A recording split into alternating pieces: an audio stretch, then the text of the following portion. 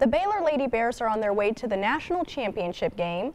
Leslie Draffin caught up with the ladies in the locker room to find out how they're keeping cool as they prepare for one of the biggest games of their lives. Leslie. Hey Amani, it is a stressful time and I wanted to know how these elite athletes keep their heads in the game. Plus, they're always working up a sweat, so I figured they might have some pretty excellent skincare routine tips as well. Check it out. First up, skincare with senior Kalani Brown. Honestly, my skin's pretty good on stress. Um, I just really like exfoliate my skin. We actually got this St. Ives um, last tournament, like the first two rounds, and it was great. Like it really made my skin soft. I would say exfoliate your skin every like now and then, not every day, because then you'll you you'll challenge a breakout, but every now and then, like maybe once or twice a week.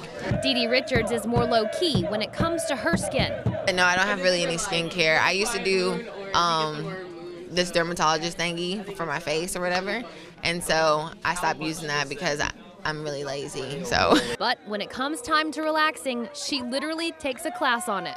My 8 a.m. on Tuesdays and Thursdays is yoga. So I use that as like my calm down time. It's an hour and 15 minute long class. So it's a good time for me to like lay down, you know, you know, recap on my day, you know, think about what's going on. So yeah. DiDi says she'll also chill in her room when she needs to de-stress. I usually, you know, shower, and take a nice, good bath. I clean up my room, you know, put some candles on, I lay down, you know, relax a little bit.